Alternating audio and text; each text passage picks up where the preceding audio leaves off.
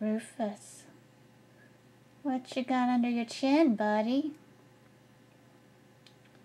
You sleeping with your football?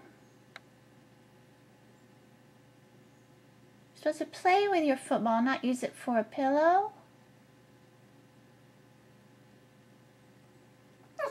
Ooh, what energy. Whoop, here comes Penelope. What's wrong? I'm not paying you enough attention? Huh?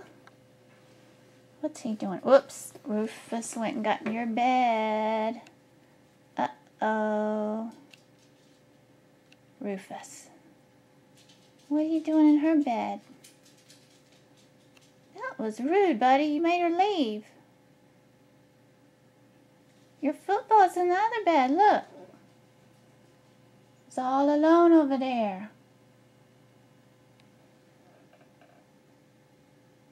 You're not going to go protect it.